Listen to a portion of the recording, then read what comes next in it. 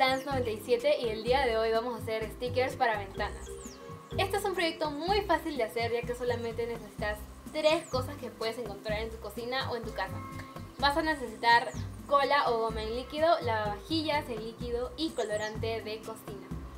Este es un proyecto muy muy bonito ya que puedes diseñar tus propias calcomanías o stickers, puedes eh, calcarlas en algún plástico y poder hacerlas y poder pegarlas en cualquier vidrio o en tu ventana y no ensucian y lo puedes volver a pegar, así que es, es un proyecto muy bonito, así que te animo que lo hagas y que puedas ponerle like, suscribirte y si quieres comentar en mi video para que puedas ver muchos más.